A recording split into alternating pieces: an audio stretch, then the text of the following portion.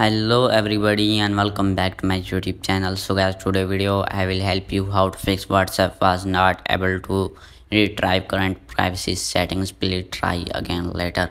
So guys if you want to fix this issue so follow my this step. Before starting the video please subscribe my channel and hit on bell icon.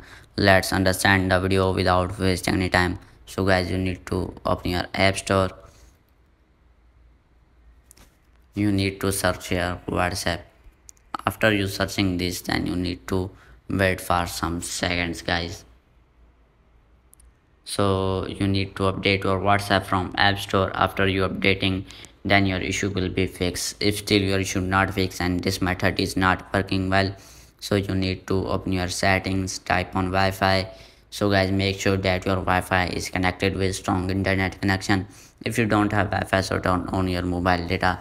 Maybe it is your network problem. If still you should not fix so you need to type on wi-fi which you connect now. Type on wi-fi type on forget this network. After you forget this network then you need to connect your wi-fi again. So i connected again guys. My password is so you need to join this network. So guys wait for some seconds.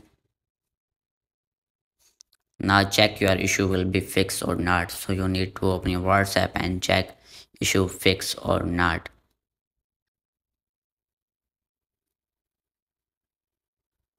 Friends check our issue will be 100% fixed. I hope this video is very helpful for you. If you like my video so subscribe my channel and hit on bell icon Thanks for watching my video.